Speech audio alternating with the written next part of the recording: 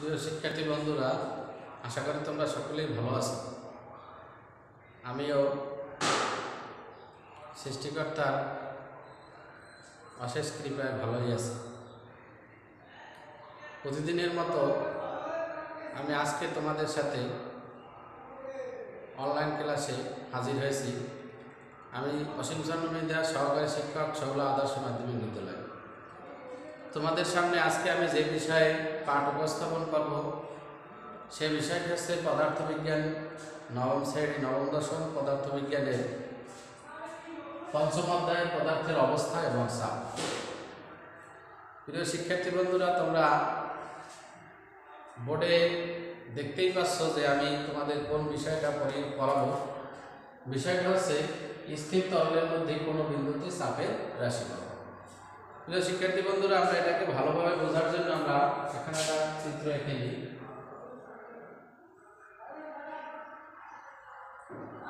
এখানে সাপোজ এটা একটা চিত্র আমরা এঁকে নিলাম। এর ভিতর পানি আছে এবং এর ভিতর আর একটা বস্তু নিমজ্জিত আছে।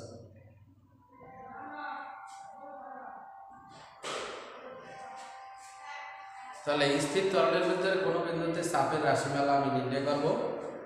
এখন নির্ণয় করতে হলে এখানে এটার উচ্চতা হচ্ছে এইচ সরি এটার এটার উচ্চতা দরকার হবে না, এইটার উচ্চতা হচ্ছে এইচ এখানে এইচ উচ্চতার একটা বস্তু, পানির ভিতর নিমজ্জিত অবস্থায় আছে।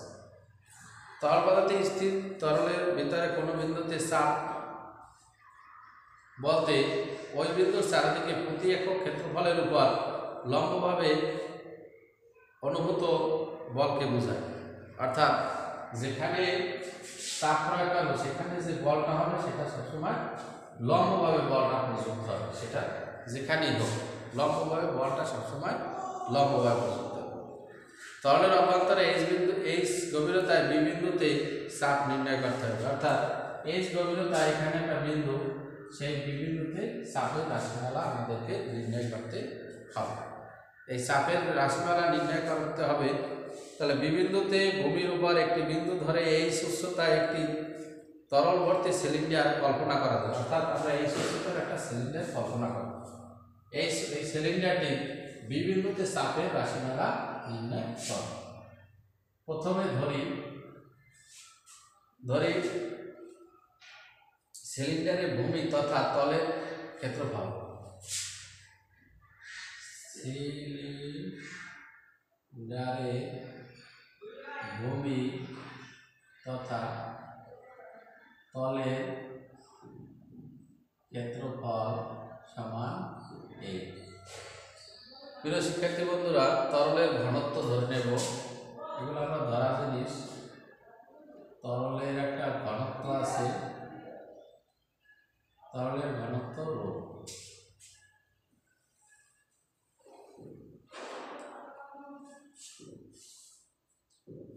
তরলের মুক্ত তল থেকে তরলের মুক্ত তল থেকে বিভিন্ন গভীরতা মুক্ত তল এখানে বিভিন্ন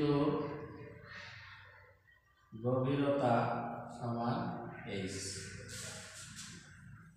আর অভিকর্ষ স্তর এটা নির্দিষ্ট। অভিকর্ষ ত্বরণ সমান এই জিনিসগুলো আমরা ধরে নিলাম যে সিলিন্ডারের ভূমি তথা তলের ক্ষেত্রফলে তরলের ঘনত্ব তরলের মুক্ত তল থেকে বিভিন্ন জি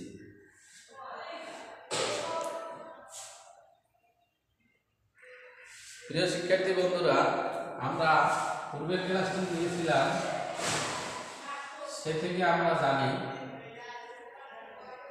চাপ সমান বল বাই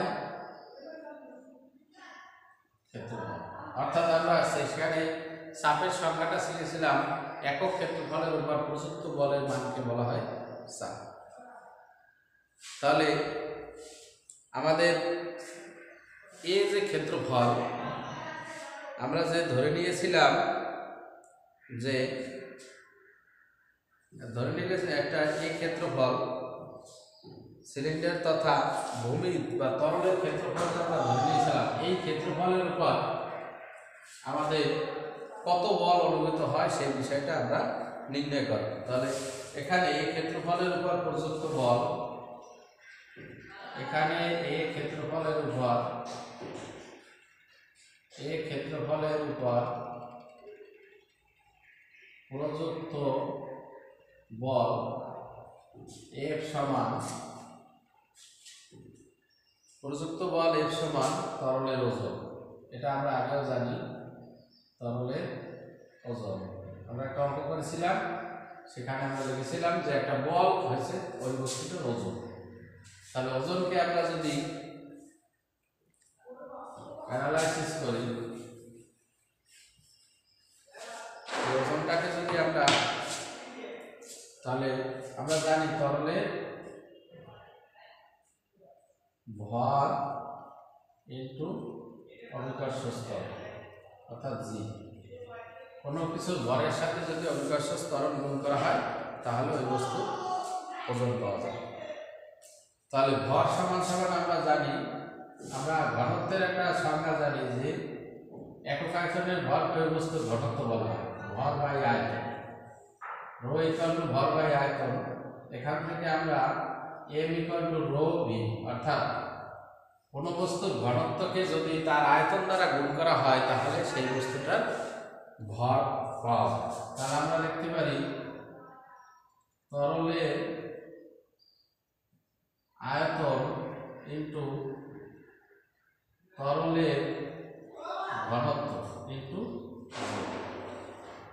তাহলে তরলের আয়তন, একটা বস্তুর আয়তন সমান সমান আমরা জানি দৈর্ঘ্য গুণ প্রস্থ তাহলে আয়তন সমান আমরা যদি এভাবে লিখি, তরলের ক্ষেত্রফল ইন্টু তরলের গভীরতা। তরলের ক্ষেত্রফল ইন্টু তরলের গভীরতা ইন্টু ঘনত্ব ইন্টু জি। তাহলে তরলের ক্ষেত্রফল হচ্ছে এ আর গভীরতা। গভীরতাকে আমরা এইচ দ্বারা প্রকাশ করেছি ঘনত্বকে রো দ্বারা আর অবিকর্ষ স্তরকে জি দ্বারা। তাহলে আমরা এ এইচ রো জি তাহলে প্রযুক্ত বলটা এফ সমান সমান এ এইচ রো জি প্রিয় শিক্ষার্থী বন্ধুরা, আমরা এখন চাপ নির্ণয় করব। আমরা ওই বস্তুর প্রযুক্ত বলটা নির্ণয় করলাম। এখন আমাদের বল আর ক্ষেত্রফল, এটা মিলে হচ্ছে চাপ। আমরা এখানে দেখতে পাচ্ছি যে চাপ ইকুয়াল বল বাই ক্ষেত্রফল। এখন আমরা এখানে যদি মান বসিয়ে দিই, তাহলে আমরা এই বিবিন্দুতে একটা নির্দিষ্ট বিন্দুতে স্থির তরলের মধ্যে নির্দিষ্ট বিন্দুতে চাপের রাশিমালা নির্ণয় করতে পারব দেখো, আমরা কীভাবে এটা কাজটা করি? তাহলে আমরা এখন, এটা পূর্বের লেখা ছিল, এখন আমরা এখানে যদি সেই মান বসাই যে অতএব সাপ সমান, এটাকে যদি পি সাপ পি সমান এ বাই এ তাহলে এফ এর মানটা যদি আমরা বসিয়ে দিই এ এস রো জি আর ক্ষেত্রফল এ এ কাটা যায় এস রো জি তাহলেই আমরা স্থির তরলের মধ্যে কোনো বিন্দুতে চাপের রাশিমালা নির্ণয় করতে পারব। প্রিয় শিক্ষার্থী বন্ধুরা, এভাবে আমরা স্থির তরলের মধ্যে কোনো বিন্দুতে, এই যে স্থির তরল স্থির থাকে কোনো বিন্দুতে চাপের রাশিমালা সূত্র হচ্ছে P equal to H rho G তোমরা সুন্দরভাবে মনে রাখবে, কারণ এটা খুব গুরুত্বপূর্ণ একটা থিওরি এটা থেকে অঙ্ক আসে এবং এটা খুবই গুরুত্বপূর্ণ। যদি আমরা এখানে জিটা একটা অভিকর্ষ স্তরণ, এটা যদি ধ্রুবক হয়ে যায়, তাহলে সেক্ষেত্রে চাপটা সমানুপাতি এইচ রো অর্থাৎ চাপটা সেক্ষেত্রে এইচ রো এর সামঞ্জস্যতা এবং ঘনত্বের সামান্য কারণ কি আমাদের অভিকর্ষ স্তরণটা সবসময় অপরিবর্তনীয় বিধায় এটা হয়। চলো আমরা এই সূত্র থেকে একটা গাণিতিক সমস্যা সমাধান করব কীভাবে অঙ্কটা হতে পারে, দেখে নিই। আমরা এটা বুঝতে পারলাম যে তরলের মধ্যে কোনো বিন্দুতে চাপের রাশিমালাটা কী হবে। প্রিয় শিক্ষার্থী বন্ধুরা, আমরা একটা লক অঙ্ক আমরা বলো বোর্ডে উঠিয়ে নিই। একটি পাত্রে কেরোসিন আছে। সমস্যা। সমস্যাটা হচ্ছে একটি পাত্রে কেরোসিন আছে। কেরোসিনের উপরিতল থেকে ছিয়াত্তর সেন্টিমিটার। কেরোসিনের উপরিতল থেকে উপরিতল থেকে ছিয়াত্তর সেন্টিমিটার।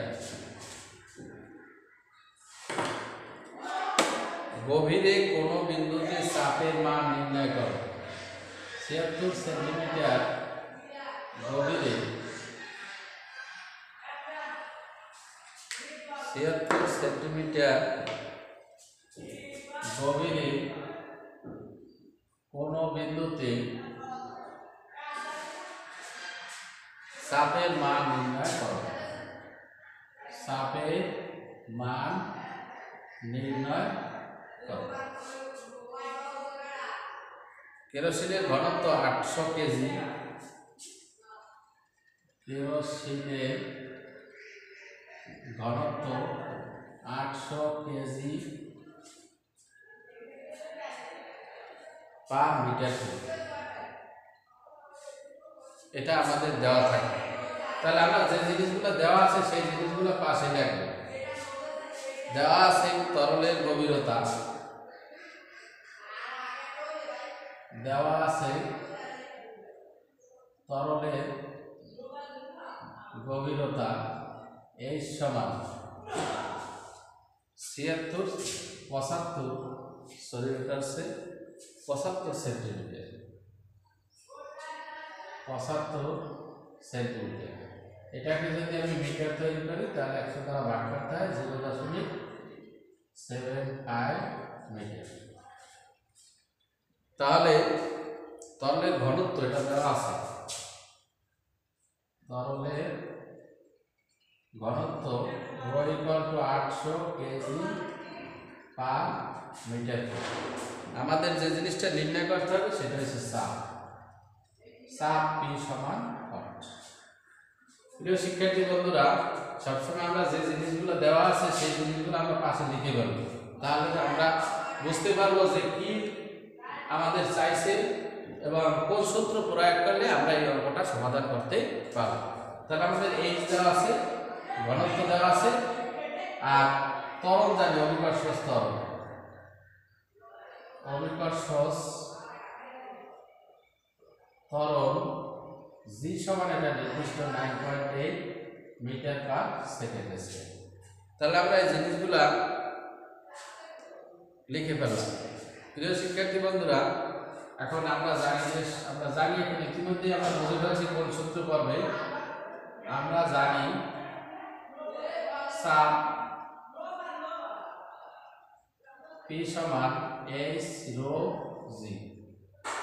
এইচ হচ্ছে জিরো দশমিক পঁচাত্তর আর ঘনত্ব হচ্ছে আটশো আর জি এর মান নাইন পয়েন্ট এইট তাহলে এই উপাদান কাটা গুণ করলে আমরা five eight eight zero eight eight zero লাস্টে আমরা এককটা লিখে দেবো। কারণ আমরা আগের ক্লাসটি করেছিলাম যে সাপের একক হচ্ছে প্যাসকেল তাহলে আমরা সহজেই নির্ণয় করতে পারলাম যে কোনো বিন্দুতে চাপের রাশিমালা কীভাবে নির্ণয় করা হয়।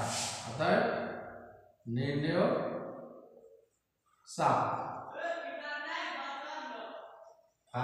এইট জিরো প্যাসকেল প্রিয় শিক্ষার্থী বন্ধুরা, আমরা এভাবে যে কোনো অঙ্ক যেটা দেওয়া থাকবে তোমাদের সৃজনশীলের মধ্যে মানগুলো লিখে তোমরা কোন সূত্র পড়বে সেটা তোমরা নির্ধারণ করবে এবং সেখান থেকে তোমরা সহজেই সমাধান করতে পারবে। তাহলে আমরা খুব সুন্দরভাবে আজকে একটা থিওরি তৈরি করলাম এবং সেখান থেকে আমরা একটা সমস্যার সমাধান করলাম। আশা করি তোমরা এটা মনোযোগ সহকারে দেখলে বুঝতে পারবে। সমস্যা হলে আমার সাথে যোগাযোগ করবে। আজকের মতো এখানেই শেষ। তোমাদের সকলকে ধন্যবাদ।